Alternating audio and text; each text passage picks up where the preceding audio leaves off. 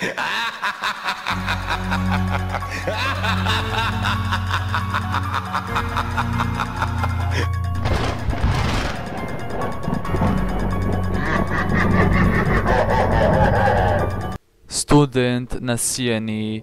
Jednog dana, za vrijeme pauze u razredu, moj prijatelj je spustio glavu i uzeo brz drijem. Uzeo sam ovu fotografiju kako bih pokazao neke druge prijatelje koji su bili u drugoj učionici, a kada sam fotografisao, nitko u sobi nije bio stojeći, nitko nije iza mene koji je mogao baciti sjenu i nitko nije hodio u učionici. I dan danas se pitam ko bi to mogao biti. Moj otac je umro 1996. godine, kada sam imao 10 godina i moj brat je 12. Spavali smo u krevetu na kat, a moj brat je imao gornji ležaj, dok sam imao niži ja. Jedne noći probudio sam se usred noći sa nekim tko nježno omiluje moju glavu. Mislio sam da je to moj brat, ignorisao sam ga. Kada sam se vratio na spavanje, osjećaj se vratio. Izašao sam iz kreveta kako bih se suočio sa mojim bratom, ali je tiho hrkao. Vratio sam se u krevet, a milovanje je počelo i po treći put.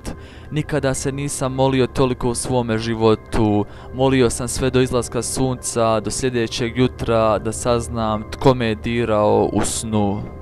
Noćna mora, moja se majka uvijek žalila da ima puno noćnih mora, ali nikad ne bi rekla o njezinim snovima. Jednog dana, dok smo bili u trgovačkom centru, predložio sam da čeka na hranu dok mi kupujemo garderobu. Vratio sam se za našim jelima, imala je neobičan pogled na njezinom licu, pa sam je pitao da li je ona u redu. Rekla je da je dobro, pa smo završili sa našim jelima i otišli. Dok smo se spuštali u pokretnoj ladici i odlazili, okrenuo sam se da razgovaram sa majkom i gotovo sam dobio srčani udar, jer je stajao iza nje neki muškarac u starinskoj odjeći, koji drži jedno od ramena moje majke i gleda me sa vrlo ljutitim izrazom. Odmah je vidjela šok na licu i vikao je pitajući me šta je pogrešno, dečko. Kada sam joj rekao šta sam vidio, počela je plakati i rekla je Upravo si opisao čovjeka koji me pokušava ubiti svake večeri u mojim noćnim morama. Vražija, šala, jednom sam se igrao sa Ouija board u mojoj sobi sa prijateljem. Pokušali smo upaliti neke cvijeće i ludo što zvuči, jednostavno ne bi svijetlile, bez obzira koliko dugo igraju utakmicu. Dok sam i uspio svijetliti, isključili smo svjetla i zatvorili smo prozore. Odjednom je pozvao majku moga prijatelja, pitajući se da li je sve u redu sa mnom, a očito se osjećala zbunjenost. Smirio sam majku dolje, počeli smo koristiti oja ploču, ali ništa se nije dogodilo, osim plamenih svijeća koji se kreću čudno. Kasnije na večer, nakon što je moj prijatelj već otišao kući, osjetio sam osjećaj gledanja, kao da me neka nevidljiva sila posmatra iz nekog ugla. Otišao sam na spavanje, ali imao sam noćne more zbog toga što me proganjala zastrašujuća zvijer sa ogromnim kanđama. A kada sam se uspio probuditi, vidio sam da su mi noge izgrebane.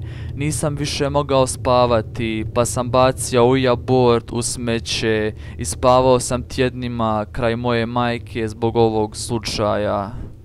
Halucinacija. Jednu večer sam bio sam u svojoj sobi, radio domaću zadaću.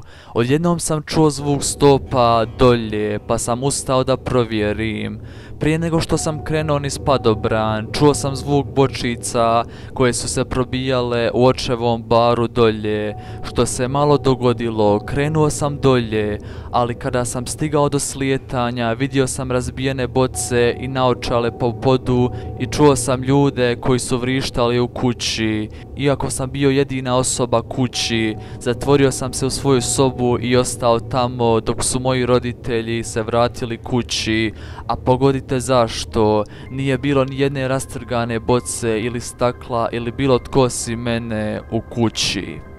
Bivši učitelj mi je ispričao ovu priču. Kada je imao oko 15 godina, on je išao istraživati slapove sa prijateljima.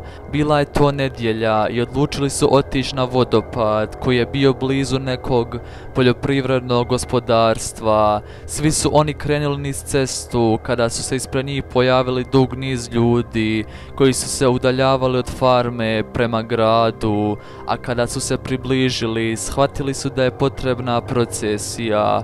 Prošli procesiju vidjeli da je to bio sastavljeno samo od muškarca koji su svi bili odjeveni u crninu. Svi su imali glave spuštene na takav način da nije bilo moguće vidjeti njihova lica.